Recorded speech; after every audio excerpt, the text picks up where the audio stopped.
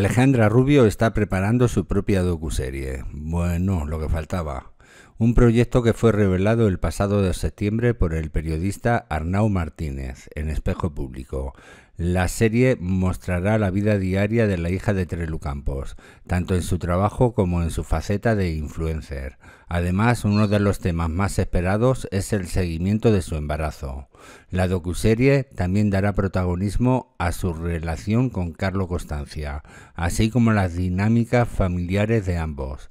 Sin embargo, un obstáculo importante ha surgido. Ni Terelu Campos ni Mar Flores, madres de Alejandra y Carlos, estarían dispuestas a participar en el proyecto, lo que podría afectar considerablemente su atractivo para la audiencia.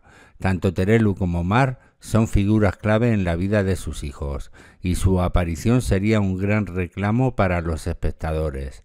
La posibilidad de ver a ambas en un entorno familiar preparándose para convertirse en abuelas, ha generado mucha expectativa. Su negativa podría restar interés al proyecto, aunque aún no se ha confirmado oficialmente.